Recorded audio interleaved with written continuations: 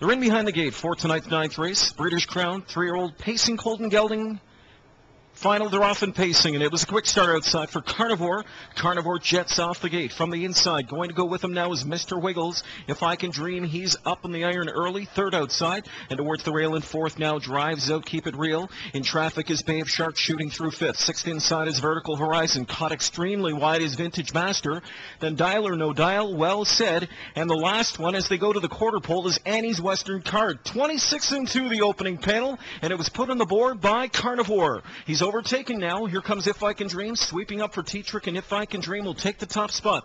Carnivore back into second. Sitting just off the speed from in third is Mr. Wiggles. Overland from in fourth as they hit the back stretch. That is Bay of Sharks in a top spot at this point. The inside fifth is Keep It Real. Bottled up sixth at the rail now, Vertical Horizon. Seventh to the outside is Vintage Master.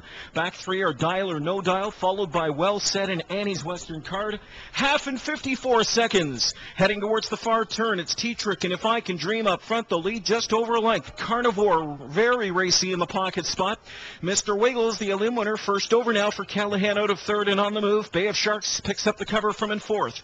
The inside fifth belongs to Keep It Real. Six towards the rail, trying to squeeze out in a real tight spot. Jim Morrill trying to find some racing him there for Vertical Horizon, but he's pinned back down to the rail, and Pierce pulls the trigger on Well Said. Asked to close from a very tough spot, but he's wide from the backfield three quarters in a stunning one, 21 and 3. Top of the stretch. If I Can Dream is still there. Second tip back out for the drive comes Mr. Wiggles. Bay of Sharks dives to the inside. Well Said on the far outside. Not tonight. Deep stretch lead for If I Can Dream. Still closing outside Mr. Wiggles. Mr. Wiggles coming after If I Can Dream. If I Can Dream holds on to win the Glamour Boy Breeder Crown in 151 and one fifth. Mr. Wiggles was second.